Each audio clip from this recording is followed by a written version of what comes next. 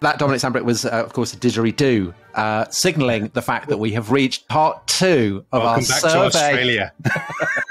our survey of Aussie PMs. Um, and Dominic, in the first episode, we got to uh, 966, hadn't we? We proceeded slowly uh, but steadily um, in the sort Like- of uh, Geoff Boycott Yes, yes. sort Um, of cricketing style. Um, and we've got to the, yes, the departure of Robert Menzies. Australia's Um, longest serving prime minister. And so, if you missed that, and uh, we talked about Australian political culture and the the different sort of forces within it, and so on, and parallels with Britain, and why we don't know more about it in Britain. Uh, so, if you missed all that, what on earth is wrong with you? Go back and listen to the previous podcast. But we're going to kick off now with Harold Holt and one of the great stories in Australian history. So, Harold Holt, Tom, you know where his ancestors were from? Um, probably from Cornwall or somewhere. They were from the great city of Birmingham. Were they? They were Villa- from Birmingham. Villa fans. I don't know if they were Villa fans. They may well have been Birmingham City, or they may have preceded um, Yes. the creation of those clubs. Anyway, uh, so his ancestors are from Birmingham. He went to boarding school in Melbourne, and um, he had been Australia's youngest MP in the early 1930s, and he was very much a sort of protege of Menzies, I think, Mm. right through. And he'd been a Labour. He'd had a sort of great. It was regarded as one of Australia's great Labour ministers, so he got on really well with the. Um, with the leaders of the trade unions, which is Were actually mates? quite they probably were mates, and that's quite similar to British conservative politicians of the same period, who also generally got on well with the trade unions until the late 1960s. So, Was that that Queen sense- always like preferring prime, Labour prime ministers? Labour prime ministers, Yeah. exactly. And then he was treasurer, which is the equivalent of chancellor, Mhm. um, or you know, um, treasury secretary in the United States. Uh, and was seen as you know good, kind of pragmatic. I mean, obviously, this is a, a boom time for Australia. The, the sort of mid '60s, everything seems to be fine. Everything's going well, Except for Vietnam. being- except for Vietnam, which we'll come to. So Harold Holt becomes prime minister, succeeding Menzies, and Vietnam. He's very enthusiastic about Vietnam, isn't he? I mean, he, He something like triples Australia's troop commitment. And he goes to the White House, doesn't he? And, and famously says that we're all the way with LBJ. He says he personally Yeah. is all the way with it. Because if you read the text of the speech, he basically says to Johnson in front of the whole press corps, you know, you'll have moments when you'll be doubting yourself and people are all against you, but remember there's one person who's all the way with LBJ, and that's him. Harold, I mean, he doesn't say it in that fantastic accent. he says it in his own voice. Uh, and Australians are horrified by this because they think it's terribly servile. Yeah, it's demeaning, isn't it? It is. Well, What you know, you're trying to throw off the chains of uh, the British oppressive throwing state. on the chains then- of, yeah. the, of the Yeah. But have you seen photos of him with LBJ? So LBJ Yeah. is obviously massive, and Harold Holt is quite is much shorter, and he's look looks like he's having a brilliant time, but he also looks like he's LBJ's Batman, and not in the, the cricketing sense. and not in the cricketing sense. No, but they um they go and they get lashed by the swimming pool together at LBJ's ranch in Texas, I think. They have a I mean, LBJ time. had quite a kind of Australian approach to language, didn't he? And He's quite Australian. I think he's quite an Australian figure, LBJ. you can imagine him at the barbecue. Definitely. I think that's what they do in Texas. They just sit around eating grilled meat, drinking Yeah. beer, swimming, Yeah. getting hammered, talking about Yeah, how they're and- looking and- forward to their triumph in Vietnam. And Har- Harold Holt, of course, is a great guy for, for he loves the beach. And he, He loves does- he loves the he good likes to s- swim, he likes he? swim. I know it's terrible. We shouldn't laugh about this. no. I, I no. really thought when we were when I was looking at my, the, you know getting my notes and stuff, I thought So- when we do this, we should do this at the somber a somber tone of tragedy. So this is this is um, just before Christmas in 1967. Yes, it is. So he's the been prime minister for just over a year, and he goes for a swim off the Victorian coast. Cheviot Beach, famous for its for its rips. Is never seen again. Yeah. So he vanishes. So he went So- with a, a couple of friends, didn't he? I think Yeah, so they come, they them. get they get picked back up, don't they? So they get back in, but Yeah. he's never seen again. And Where's so, Harold Holt? So, the- so, so the likeliest theory is that he drowned. Well, let's let's be honest. well, He drowned. he drowned. He- I mean, he, yeah. But there are all there's um that there is another theory that actually all along he'd been um, spying for the Chinese the Prime And that Minister and that the Spy is the name of the book by Anthony Grey. and that he'd been picked up by a Chinese submarine and taken to China. So I looked into this theory. This is an absolutely So you don't you you. you well. Let me tell you the theory. theory. The theory is that Harold Holt was recruited as a Chinese agent as a very young man, and he originally thought he was an agent for the Kuomintang, the Chinese nationalists. Chiang Kai-shek. Then, sometime I think in the 1950s or 60s, his handlers revealed to him that he was actually an agent for the communists. Holt, despite the fact that he's working for The one of the most anti-communist sort of um, government chief executives in the Mhm. in the in the democratic world, So how do you think Menzies would? I mean, Menzies wouldn't like. he'd have been very unimpressed. He would be very unimpressed by the idea of working for Chairman Mao. Yeah. So the claim is that Harold Holt, um, he he got to become Prime Minister of Australia, still working for the Chinese, and then eventually the Chinese decided that he was in danger of being rumbled or something. So they sent a, a submarine to lurk off this beach. Harold Holt swam out to the submarine, was picked up, and spent the rest of his days very happily eating, you know, Chinese food in Yeah. China. Yeah. And and his wife, when she was presented with this theory, said he didn't. He hated Chinese food. Yes, he did, which is obviously the clinching argument against it. Um, Um, also- and there's another th- there's another theory that he was um, he might have been murdered by the Viet Cong.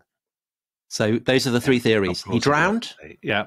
he was murdered by the Viet Cong, or he was picked up by a Chinese submarine. You know the Chinese theory. The most fascinating thing about the Chinese theory is the man who who came up with it, who's a, a British reporter, I think, a Reuters journalist called Anthony Grey, had himself been taken prisoner in China.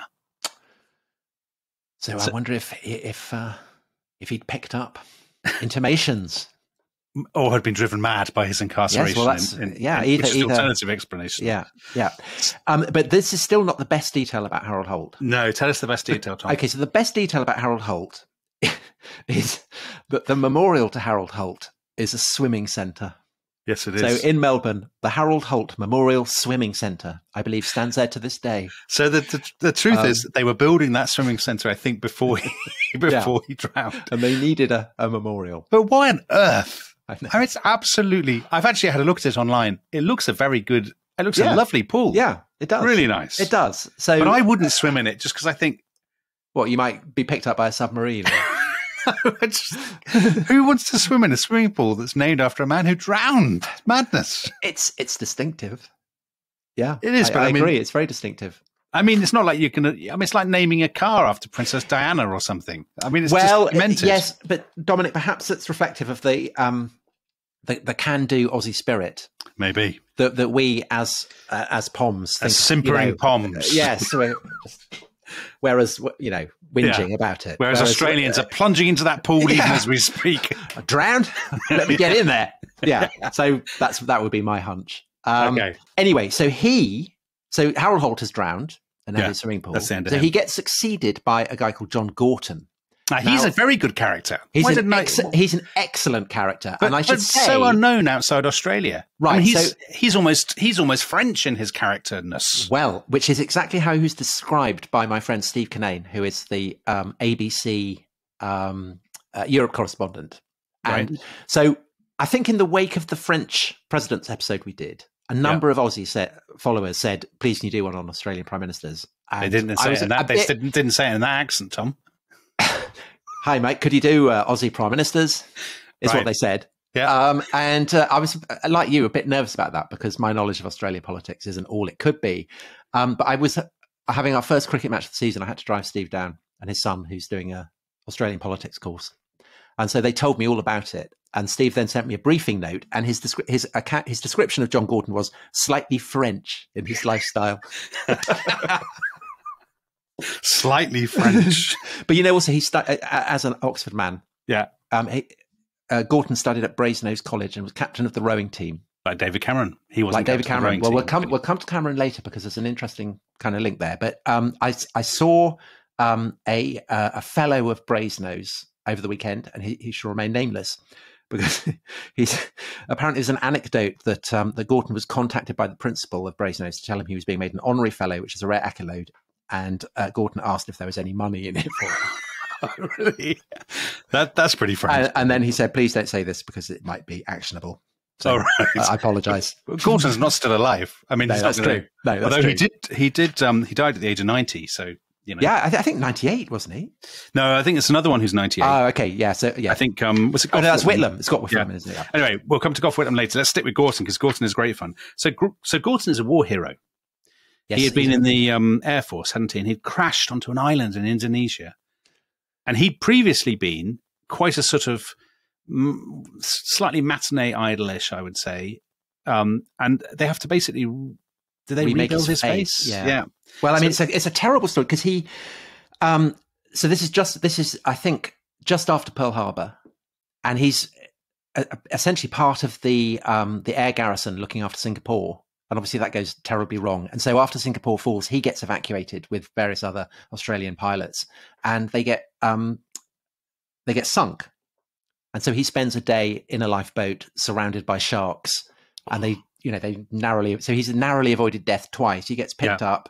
Um, he he yeah, and they have to basically rebuild his face. So he has scarring for the rest of his for the rest of his life, and he then you know he returns to the um, to the air force and crashes again twice. Um, so slightly slightly jinxed. Jinxed, but Um, also lucky. I mean, you know, he could have been Oh, killed in yes, any of those. Yeah, half half empty, half full. Uh, well, actually, Tom, just before we just before we come onto his sort of political persona, um, the that bad luck that he had with his physical health. I mean, we think of Australians as the sort of absolute epitome of you know strapping good health and so on, but actually, we forgot there was a caretaker prime minister between Harold Holt and John Gorton, who had even worse luck with his health than John Gorton did. So he was a man called John McEwen, and he was only prime minister for a matter of weeks. Do you know what happened to him? No, I've never heard of him. So, so he was only him. he was only really brief as prime minister. I mean, I think sort of weeks.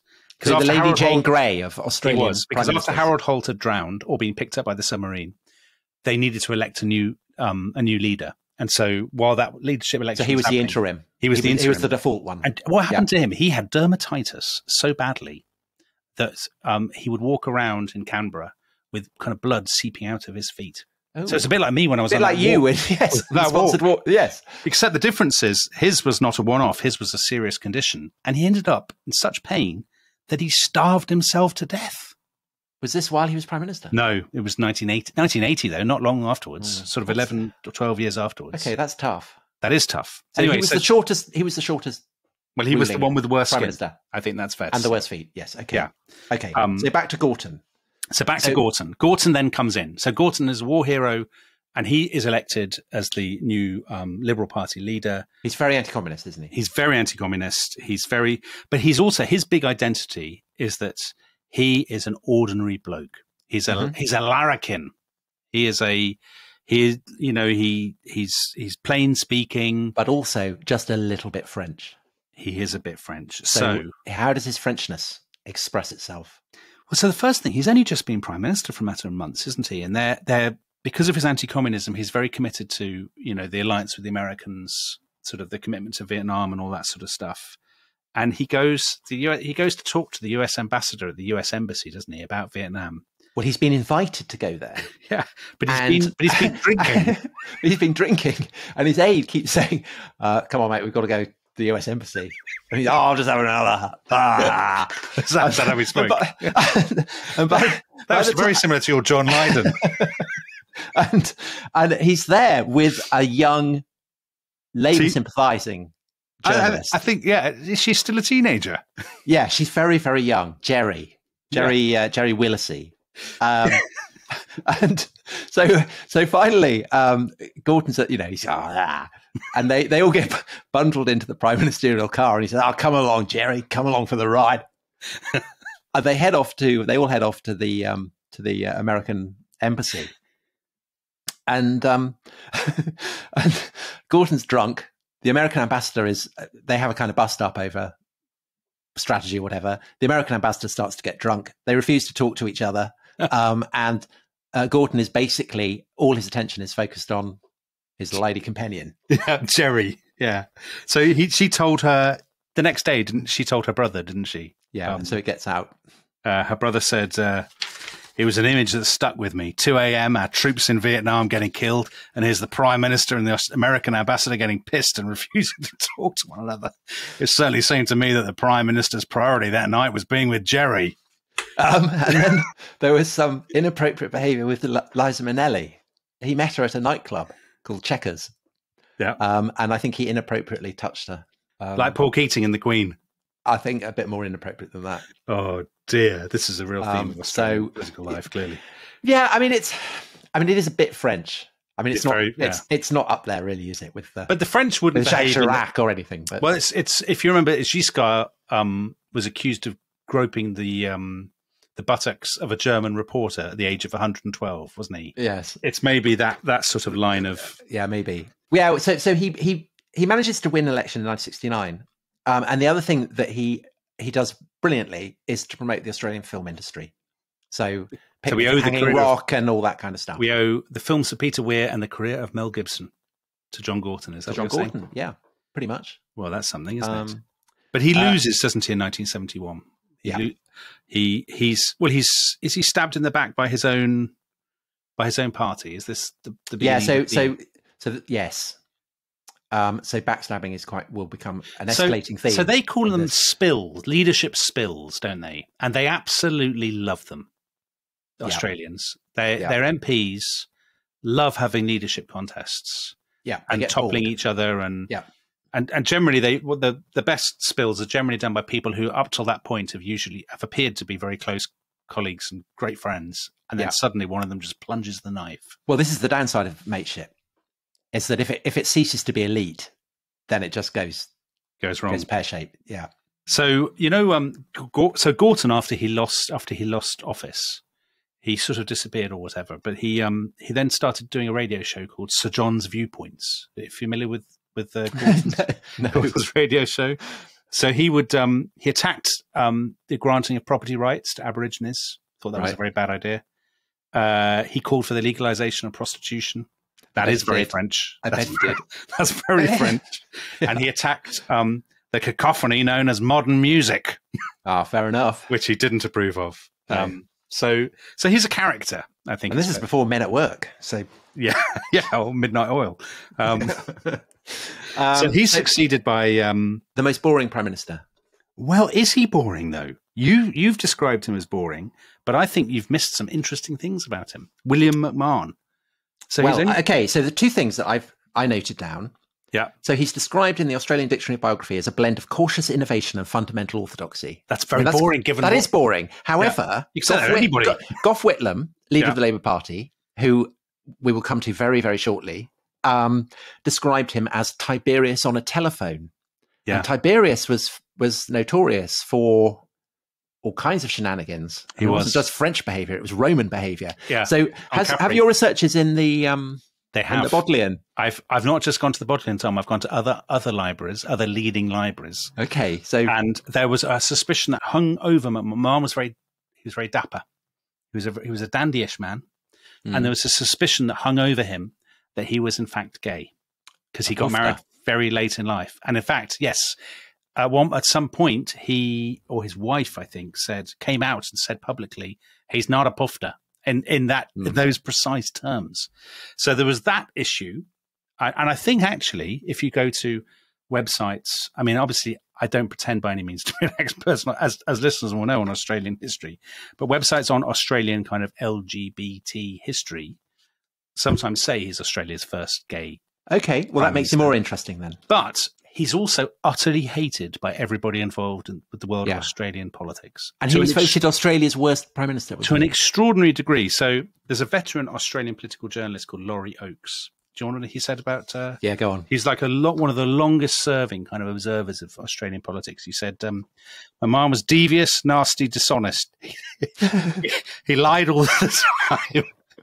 he lied all the time and and stole things." What, So- what did he steal? he describes this incident where he said McMahon came to his radio station to give an interview. It's Such a strange. It's not very French at all. Um, and no French. Valéry Giscard d'Estaing would not stoop to this and stole a tape recorder. What? How odd.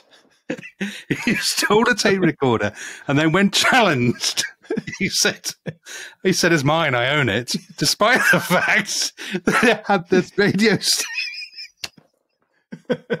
So, not a Napoleon of crime, he was not. it had the it had the name of the radio station engraved on the machine, but he's like, "No, it's mine." And, and Well- actually, well, that, that, I say it's not very French, but that reminds me of something that I think um, Mitterrand or somebody said about Jacques Chirac, which was um, Chirac is a man who um, if you found him sitting in your in your chair eating a big eating a big tray of jam tarts with jam all over his face, and you challenge, I deny. Chirac would say, I've, I've, never seen any jam tarts. So obviously, the, this McMahon yeah. is the equivalent of that. Yeah. He, okay, well, I to really take it back. That he, if he's stolen he your boring. tape recorder, um, he'd deny it. He's a master criminal. yeah. He's a master criminal. He's um, he's, he's the he's an L, LGBTQ yeah. uh, hero. He's a poster boy for diversity, and and he's Australia's worst prime minister. Uh, so I think I think you know that's I think we need a break after that, don't we? We do because that was because far too enjoyable. After and talking of enjoyment, after the break, we come to probably Australia's most entertaining prime minister. You think so? Uh, yeah, I think so, and definitely the most extraordinary episode in Australian political history. Definitely. Um, and so we will return with the premiership of Gough Whitlam.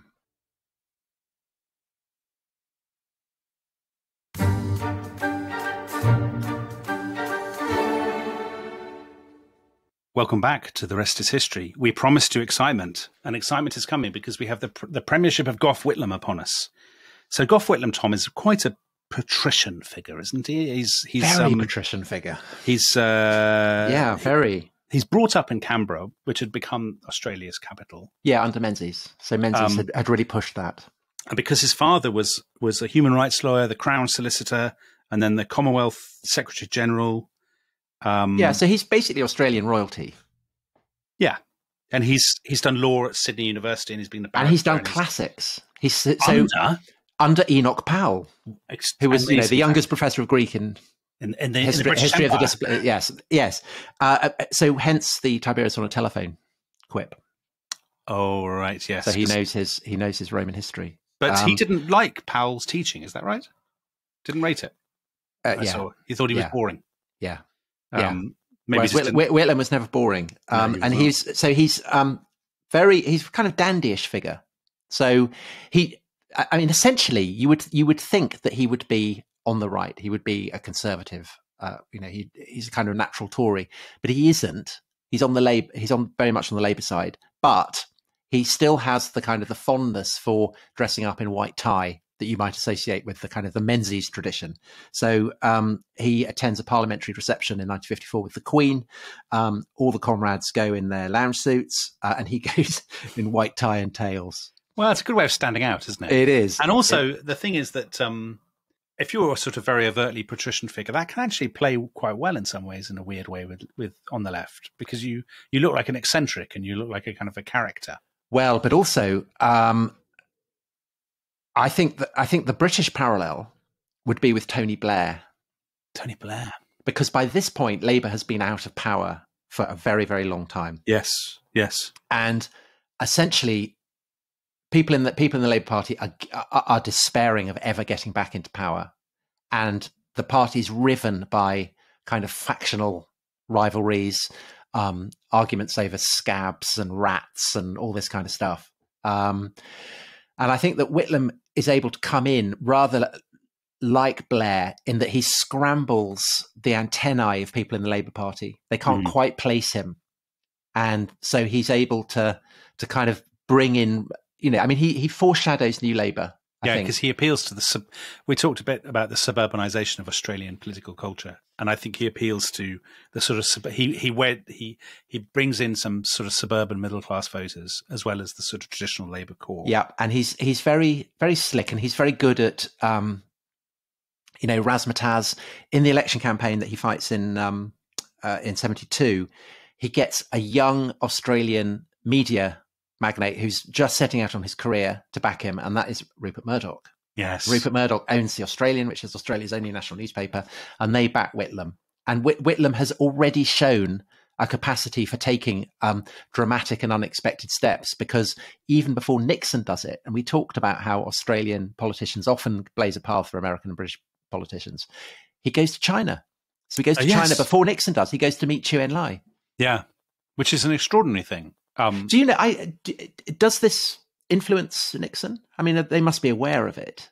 I think there must be aware of it. Yeah, I don't think it's a conscious. Oh my gosh, Gough Whitlam has gone because, of course, he's he's not prime minister when he goes to China, is he? He's he's Labour leader, but he's not. But prime this is still this is still the Cultural Revolution. So I the think it's a fact that a Western leader has gone is uh, exactly. it's a yeah. sign of China opening up. I think. Um, I mean, uh, people who know more than me about um, uh, Henry Kissinger's thinking in 1971 would would know more about this. But I don't think it's a. I think it's a, a straw in the wind, as it were. But I don't Yeah. think it's necessarily a sort of a, a massive motivation. But yeah, no, he's a very he's a very charismatic figure, isn't he, Whitlam? yeah, yeah, I mean, really he's, charismatic. he's incredibly fluent and um, uh, sort of s- incredibly self confident. I mean, that's one of the things that brings him down is that he clearly is not he's not a man crippled by self doubt, and he doesn't. well, I think he's he's not a he's not a details man, but he's very much a broad brush man. yeah, and he's very good at, uh, rather as Blair did, at kind of capturing a spirit of optimism and, and regeneration and rejuvenation. Uh, and his slogan, "It's time," yeah. And it is time. Well, he So- does all kinds of. I mean, obviously, as with our previous podcasts about German and and um, French leaders, we've we've we've been reasonably policy free. But uh, but Yes. uh, but Yeah. uh, uh, Whitlam does. He does things like he abolishes conscription. He pulls the troops out of Vietnam. He has um, he makes a, a, a move towards universal healthcare, which then Bob Hawke will take up again in the 1980s. Equal pay for women. Equal pay, exactly. There's sort of Aboriginal. Uh, there's a Ministry of Aboriginal Affairs, isn't there? So he sets that up. Yeah, Yeah. yeah, and, and so this is yeah, it's under Whitlam that basically white Australia starts to come to terms with the injustices that Yeah. historically white Australians have done to the uh, the native inhabitants of Australia, uh, and also and he um, he's very hostile to um, sporting engagement with, with apartheid South Africa. Yeah, because very he's very takes a lead in that he's very anti-racist, but partly because of his father's background as a human rights in the Commonwealth lawyer. and in the Yeah. Commonwealth, yeah, Yeah. Secretary General, uh, and also crucially he um, abolishes the sales tax on condoms. right. Well, that would go down well with uh, Valéry Giscard d'Estaing. But you know the th- the thing that um, Steve Cannane was most excited about was that it's Gough Whitlam who gives Edna Everage her damehood. So I didn't Edna know Everage- she'd been officially awarded this damehood. yeah, so this is, so this is a film Barry McKenzie, Right. in which Barry Humphries stars. Yeah, and Barry Humphries, Australian comedian, plays the part of Edna Everage, uh, who is a uh, housewife superstar, isn't it? What is it? Superstar housewife? What is it? Yeah. Um, Um, the first, remember. yeah, exactly, something like that. And in the film, she comes back from a tour, and Gough Whitlam is there waiting to, to, to greet her and gives her a damehood. And the joke about this is that actually Whitlam has abolished knighthoods and damehoods um, as being, you know, pommy nonsense. Yeah, because he's quite he's a reformer, he's a modernizer. He's that is quite Blairite, isn't it? That he Yes. he's sort of he's leading Australia into the shiny new future. And then basically, I think, I mean, it's it's actually typified by it's inter- so interesting. It happens in October 1973. The Queen opens the Sydney Opera House, and the Sydney Opera House, which everyone forgets now, but at the time was was very controversial. disaster, wasn't it? But- over budget and but it's this symbol of modernity of this shiny modernity and of course it's in the it's in october 1973 that as people will know if they've listened to our previous podcasts that the world economy is thrown completely off course Yeah. by the arab israeli war and that whitlam's whole sort of agenda which is based on this kind of bright optimistic you know progressive future is undone by the by the oil shock because he by the need for austerity. because he's not prepared to countenance. So he doesn't um, he doesn't want to deflate the economy as some others do. He doesn't want to raise taxes. He doesn't want to you know he doesn't want to face in some ways the the grim consequences of this massive injection of inflation into the world economy. Well, what he wants to do is to borrow petrodollars, which is you know the wealth that's been generated by Mhm. the sheikhs and so on in the Middle East. Uh, But he doesn't want to do it through the middlemen, through the names of Zurich or London or Wall Street or whatever. His his minister for energy is a guy called Rex Connor. He says, you know, see if you can see if you can find someone who would be able to open up negotiations for us to borrow these four billion um, you know, kind of, you know, behind the behind the curtain kind of thing. Yeah. And so Rex Connor, um, he finds a middleman who is a um, a Pakistani commodities dealer who is working out of London, uh, Tirath Khemlani, who maybe um, talks bigger than perhaps he should have done. Right. He, he has a he talks a better game than perhaps he is actually able to execute on the pitch, because um, the likelihood, basically, he doesn't have the contacts that he's told Connor that he does. And he seems to have employed his secretary to go around various capitals, sending telexes to give the impression that um, that Khemlani himself is there negotiating big right. deals. Yeah. And, and, so it becomes increasingly evident that this, you know that he's stringing um, uh, Connor along, and the opposition and the press start to get wind of this. And by this point, inevitably, Murdoch has turned against Whitlam. Yeah. And is starting to sharpen the knife. Um, and Whitlam, who is not a, you know, he said is not a, a details man, starts to wake up to this. And so, in a, a, a measure of panic, he he revokes the license that uh, Connor had to, to borrow this money. Um, but Connor continues to try and get the money, and he's staying up all night by the telex machine, waiting for you oh, know no. his ship will come in, yeah. but it doesn't.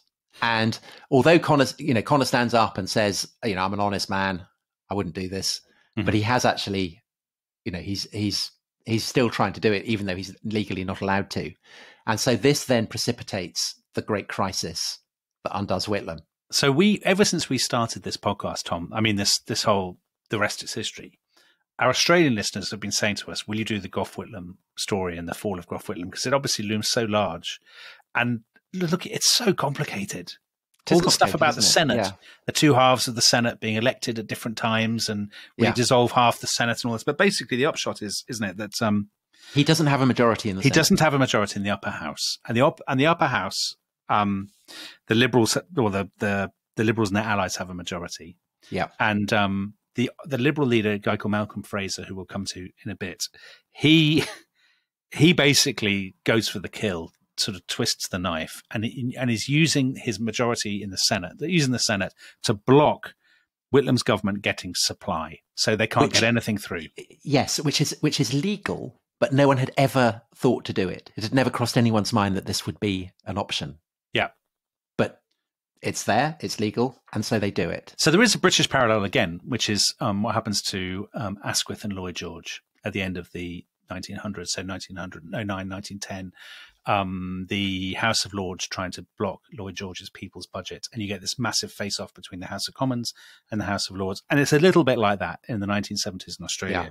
That, and it's a little bit also like the um, uh, happens in America, isn't it? Exactly. They, yes, yeah. it is between the, the, battles between the presidency and and Congress. If the Congress yeah. have, have, and they end up shutting down the government sometimes. Yeah. In America, but obviously Whitlam thinks um, Whitlam will not call an election to kind of break the deadlock. He thinks and this is his confidence, his patrician confidence, I suppose.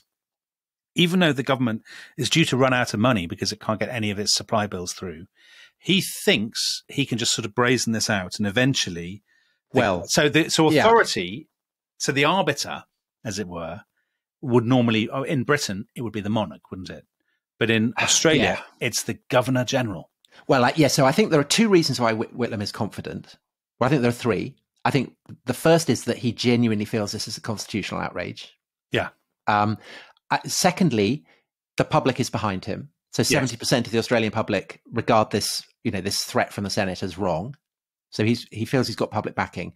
And the third reason is that the Governor General, who is the representative of the Queen as head of state in Australia, um, is a guy called Sir John Kerr, who Whitlam himself had appointed. And Sir John Kerr had once been a Labour Party, I think, yeah. member or at least a very keen supporter.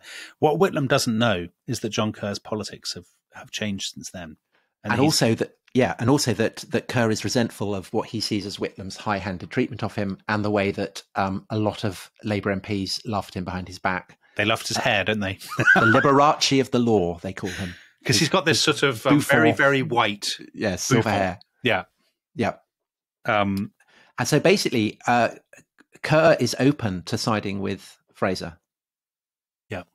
And um, Whit- so it's it, it's on Remembrance Day, 1975, and Whitlam goes in. Basic, you know, so so they're running out of money. The, the the guillotine is about to drop, and Whitlam basically goes in to Kerr to say, you know, you got to sort this out. And Kerr Kerr says, "You're sacked. yeah, get out." Yeah. And and Whitlam can't believe it. And rather than kind of laughing at him or telling him to, you know, get on his bike, he he walks out and he he accepts it. And the moment he's gone out, Malcolm Fraser comes in, swears the oath, and is sworn in as prime minister. And there's an amazing scene outside where the, someone reads a proclamation saying, um, you know, uh, Whitlam God save the Queen, and ending with the words "God save the Queen," Yeah. which Whitlam had tried to get with, you know, had basically tried to get taken off all the proclamations. And Whitlam is standing there where this while this happens, and he says, "Well, may we say God save the Queen because nothing will save the Governor General." He gives this very defiant. Yeah, speech, and and um, the, the proclamation you've just heard was countersigned Malcolm Fraser, who will undoubtedly go down in Australian history from Remembrance Day 1975 as Kerr's Kerr.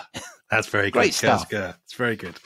But I mean, it all turns out disastrously for Whitlam. This is the thing. It's obviously a huge sort of controversy in Australian history, because a lot of people still think that um, Whitlam was it was a constitutional coup against Whitlam, that the CIA were behind it, that Yeah. the Americans put them up to it, all this sort of stuff. That's John Whitlam Kerr behaves was- very well. I mean, he just takes so, it, doesn't he? So, so he, yes, and one and and um, so he and Bob Hawke, who's very kind of prominent trades union leader, who'll become prime minister later on. He, they both behave very well in that they don't weaponize it Mhm. because they're worried about imposing too much, too many fracture strains on Australian Yeah. civic society. They're the Al reflects- Gores of uh, yeah, Australian a bit, politics. a bit, yeah, a bit, But the Um, extraordinary thing is that Whitlam loses that election because there is an election in December, massively. I and mean, Fraser wins a massive landslide. yeah, I think the second largest majority in Australian history or something. And I would Um, assume this is partly a verdict on the fact that the economy is obviously much worse than it had been a few years earlier because of the oil crisis and so on. So there's a general downturn, but also because people are sick of the. It's a bit of a get Brexit done kind of atmosphere. They just want it over with, and this is a way to get it over with. Yeah, maybe. Maybe. Do you not think? Yeah, I don't know. I think. I, I mean, I would guess that it's. Um, I mean, pretty much every government that has an election in 1975 loses, don't they? Yeah. I mean, it's So there's an anti-government mood in the yeah because yes. of, you know in the wake of the oil crisis, everyone's you know they're all falling like like Yeah. dominoes.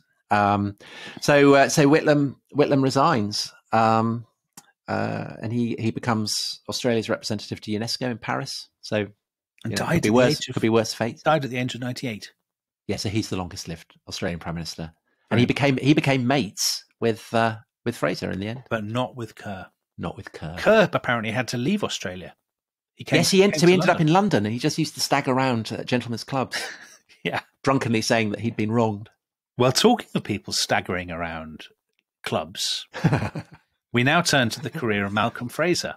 Yeah, So he's a man who look. I, I mean, when I, I I couldn't really picture him because I'm not super familiar with Australian politics. But when I looked him up, he he looks like all Australian prime minister. He looks like an, a casting Yeah. agency has supplied. and he sounds like one, doesn't he? yeah, he's he's a sort of he's he's quite you know looks. I mean, Malcolm Fraser's a Scottish name, but it also sounds quite like an Australian prime It does. minister. It does. He looks like a sort of big, chiseled, Yeah. you know, a mate, man's man kind of. Well, he's the son of a sheep farmer. He is Well, he's, he's a classic Australian. He's the son of a sheep farmer who studies at Oxford. Magdalen College. Did so there's you know- the Do you know the degree? no PPE. PPE. Oh well, Do you want to guess the class? first, Third. third. Third. Okay, so there, there, there it is. Um, son of a sheep farmer, Magdalen, uh, PPE, third. Yeah. And he's Um, quite pragmatic, isn't he? He's one of those sort of, and in Britain, he would be a sort of Ted Heathish kind of figure, I suppose. And his politics. Yeah, do you te- faintly technocratic, I would guess. Yeah. Um, he's, I mean, obviously the left hate him because he's, they see him as having played, yeah, he did play his part in this essentially constitutional coup, but he's, um, you know, and, and actually he's, I mean, he's, he's not a, in any way a kind of tub thumping right winger. No. So he's, he, um, the, the collapse of the white Australia policy is absolutely, you know, he, he, he, he's very happy for the Vietnamese boat people to come to Australia. He behaves Yeah. very well over that. and he's prime minister um, for quite a while, eight years. Yeah, yeah. He's uh, he plays a leading role in opposing apartheid, um, and then he uh, he um, he loses the election in 1983 to Bob Hawke's Labour, uh, and then after his um, after he's lost, he then he then he goes on foreign travels. He so in 1986 he goes on he goes to America. Uh, Yeah. And he visits the fine and fair city of Memphis. Memphis, Tennessee. And this is the one thing, actually, that basically he'll be remembered for. yes. By people outside Australia who are not quite as, you know, like us, who are not massively um, fascinated by the details of Australian policy making. And this is by far the, the signal fact about him, isn't it? So it's the 14th of October 1986. And Malcolm Fraser, former Prime Minister of Australia, is discovered in the foyer of the Admiral Benbow Inn in Memphis with no trousers, wearing only a pair of underpants, in a state of And- some confusion. And the Admiral Benbow Inn is not the most reputable of establishments. I think we can say it's downright seedy. Yeah, it's very, very seedy. And he has lost, um, he's lost his Rolex watch worth ten thousand dollars, his passport, his wallet, and six hundred dollars, I think, in cash. Uh, and so there's considerable debate as to what was going on and all Yeah. kinds of theories. His wife Um, says this is an absolutely terrible story. and that he- he- he's the victim of a practical joke. Yeah, a practical joke by fellow delegates at his sort of Commonwealth group meeting. Is that the way that people involved with such groups normally behave? Would you say, Tom? I don't. I have no idea. So- I don't know. so Don't very- mix- I don't mix in such rarefied circles. Very mean-spirited people say that um, clearly he was visiting a lady of the night, and it went horribly wrong. yeah. she Yeah. took his trousers. Yeah. But uh, he came downstairs. You know what the concierge said? No. She said um, she remembered him trying to to conceal his modesty with a towel. She said uh, they're not real big, and I remember he was a big man. so I mean, you could take that as a compliment in some ways. yeah. Good old Aussie. Um, well, I think I think that's um, yet again so much stuff to say about Australian prime ministers that we're running out of time. So um, should we should we go for a third episode? Yeah, let's do it. Uh, come on, Because we still we've got Bob Hawke, we've got we've got um, Paul Keating, Paul who's a great Keating, character. Yeah, the Lizard of Oz. um, and then we've got the, the kind of basically Game of Thrones bloodletting that So- is Australian politics exactly. in the 2010s. So the two of you who have made it through to the end of this podcast, um, you can look forward to a third one in this extraordinary trilogy, as we will be picking up next time with the Yes. career of Bob Hawke. G'day.